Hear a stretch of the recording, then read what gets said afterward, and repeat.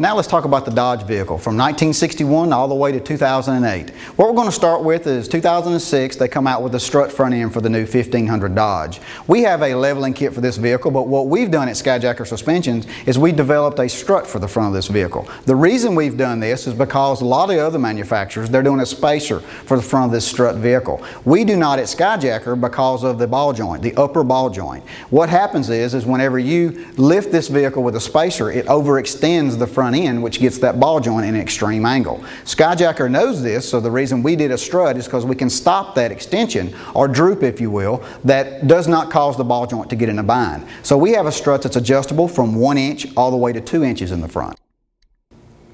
2002 to 2005 1500 Dodge, we have a 6-inch suspension for this vehicle. What we've done at Skyjacker is a lot of the other manufacturers, whenever they lift these vehicles above 4 inches, you have to replace the front drive shaft. Not at Skyjacker. We offer a non-skid plate and a skid plate suspension 6-inch for this because of the, the consumer can decide which way or the other they would like to lift this vehicle.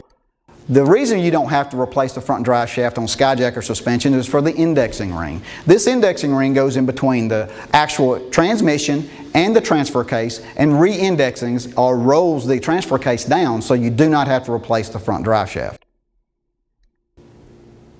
94 to 2007, 1500, 2500, and Mega Cab. These are the straight axle versions of the Dodge. What we've done here is we have a 2-inch spacer kit, poly.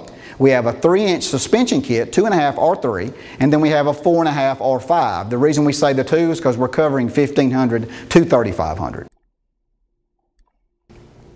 Options for this vehicle, 94 to 07. What we've done is we have a multi-shock kit or dual shock kit for the front.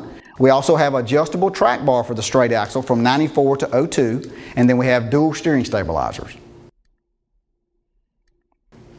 1961 to 1993.